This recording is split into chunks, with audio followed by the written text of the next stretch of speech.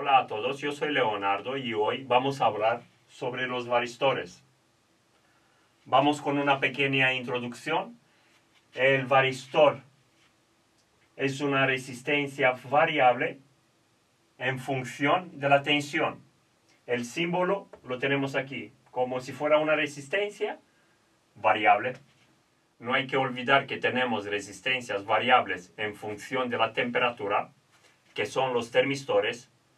También tenemos resistencias variables en función de la luz, que son los LDR. Y también tenemos los potenciómetros, que con la ayuda de un mando podemos variar su resistencia. El término proviene del inglés variable resistor. Por eso ha salido el varistor. Los varistores se utilizan muchísimos para proteger circuitos contra la variación de tensión. El uso más habitual consiste en colocar un fusible en serie y un varistor en paralelo justo a la entrada del circuito. Por ejemplo, este es el circuito con un montón de componentes, con condensadores, bobinas, circuitos integrados, resistencia, diodos.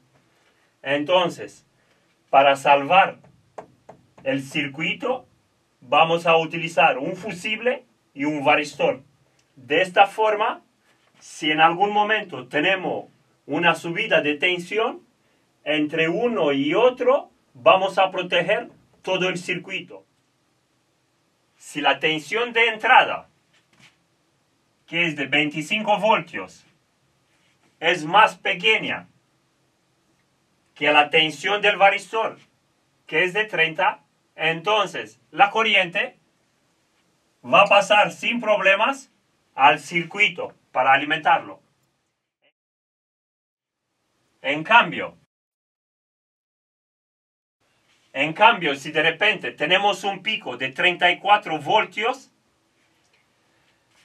el varistor cambia su resistencia y se va a comportar como un conductor normal y corriente. Ya no tiene tanta resistencia para que la corriente pase por arriba directamente al circuito. Entonces el varistor cambia, se abre, entonces toda esa corriente en vez de pasar por arriba y romper todo el circuito, va a pasar por abajo. Ese varistor lo va, va a dejar la corriente a pasar. De esta forma vamos a proteger todo el circuito. Cuando la tensión supera el valor nominal del varistor, esa corriente va a circular a través del varistor. Si la corriente está por debajo de, los, de su valor nominal, por debajo de los 30 voltios, por ejemplo, el 25, la corriente va a circular, va a circular por arriba, va a alimentar sin problema el circuito. Entonces el varistor está aquí para proteger, no tiene, no tiene otra función, solo para proteger el circuito por completo. Aquí tenemos un varistor de 240 voltios. Para entender cómo funciona, vamos a medir este varistor de un tamaño más grande y en la clase de mañana vamos a intentar a medir un varistor de una placa de Samsung.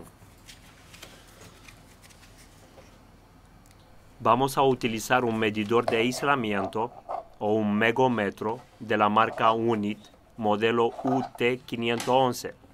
De esta forma vamos a saber si el varistor está bien. Colocamos las dos pinzas al varistor. A la derecha colocamos un multímetro para observar el voltaje que le aplicamos.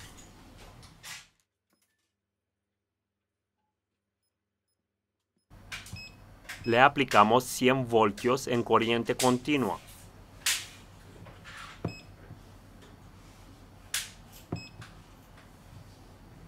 Pulsamos el botón Test y esperamos. En la parte izquierda arriba podemos observar una resistencia muy grande, de 10 megaohmios. que son 10 millones de ohmios. A la derecha de la pantalla podemos observar el voltaje del multímetro, que son 107 voltios en corriente continua.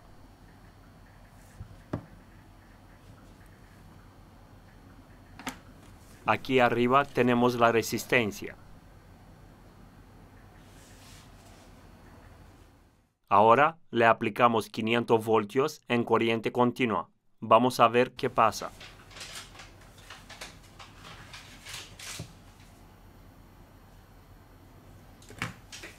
Podemos observar cómo la resistencia ha bajado a 0.2 megaohmios, que son 200.000 ohmios. Conclusión. Una vez que tenemos el voltaje mayor al voltaje del varistor, la resistencia del componente baja.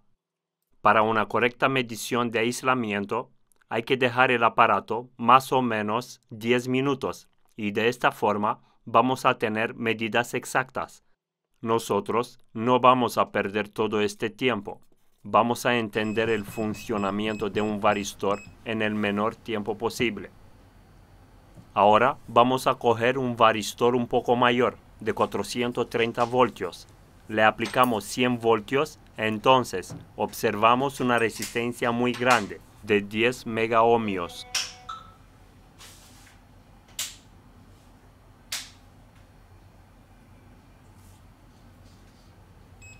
Ahora le aplicamos 250 voltios, corriente continua, y tenemos una resistencia de 9.9 megaohmios, que es también una resistencia muy grande. Si no le aplicamos más de 430 voltios, la resistencia no va a bajar.